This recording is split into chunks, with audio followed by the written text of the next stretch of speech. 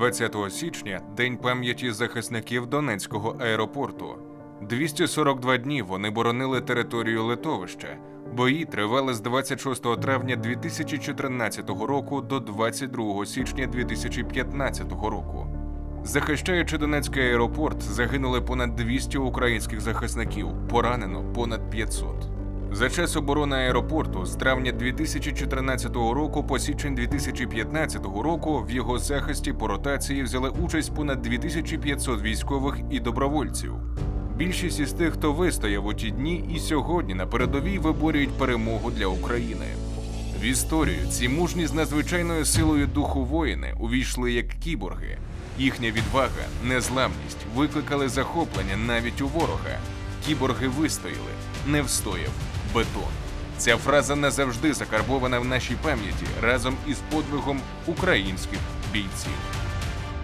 Це одна із найтрагічніших сторінок в історії нашого протистояння з ворогом, написав голова Верховної Ради України Руслан Стефанчук у своєму зверненні з нагоди вшанування пам'яті захисників Донецького аеропорту. Військовослужбовці, добровольці, волонтери, медики захищали плацдарм до останнього ціною надзусиль та ціною власних життів, аж допоки очі захисників диспетчерська вежа не обвалилася після майже вісьми місяців безперервних щоденних обстрілів.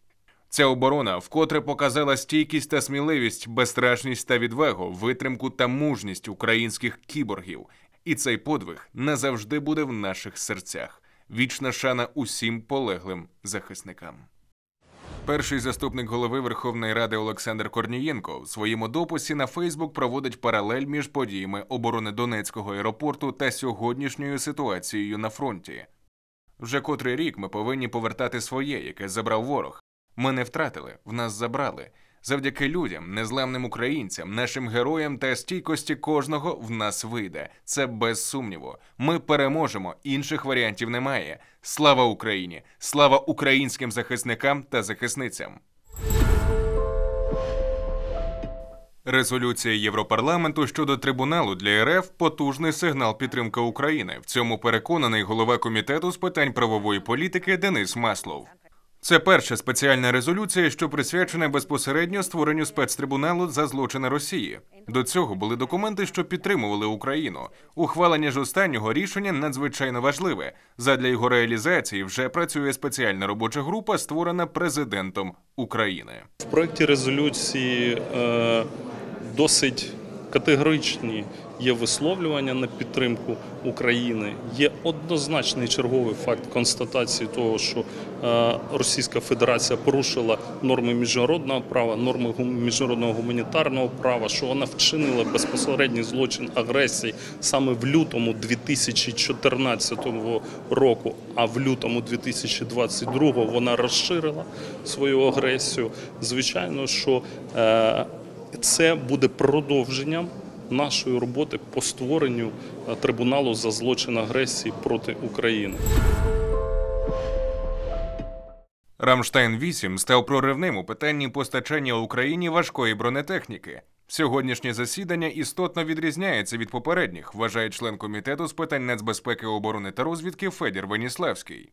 Україна, за його словами, отримала багато позитивних сигналів від партнерів щодо постачання нових зразків озброєнь, необхідних для звільнення наших територій. Це нове вікно можливостей для України, переконаний депутат.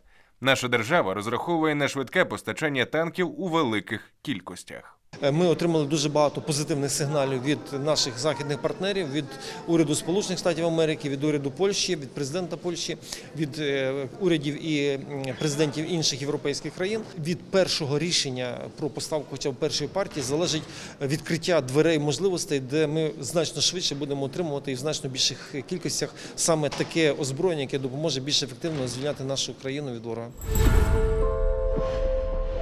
Комітет з питань економічного розвитку разом з експертами та урядовцями обговорив нову законодавчу ініціативу щодо вдосконалення санкційної політики, що на думку законодавців дозволить підвищити ефективність управління державним комунальним майном та арештованими активами. Учасники засідання наполягають врегулювати роботу АРМА та здійснення виконавчого впровадження, а також вдосконалити процедуру управління активами підсанкційних осіб та арештованого майна. Напрацювати узгоджену позицію всіх ключових стейкхолдерів парламентарі обіцяють вже до другого читання. Зараз головне мета України не тільки заблокувати гроші або майно, що є у росіян за кордоном, а й не дати можливості РФ отримати гроші, за які фінансується армія країни-агресора. За словами народного депутата України Ольги Василевської Смаглюк, наразі створена відповідна санкційна група, де напрацьовуються механізми, аби було невигідно закуповувати російський нафту і газ, гроші від яких йдуть на підтримку війни в Україні. В питанні роботи над 10-м пакетом санкцій ЄС проти Росії Україна переслідує мету не лише блокування російських рахунків за кордоном, а й конфіскацію цих коштів для допомоги нашій державі на відновлення зруйнованих об'єктів.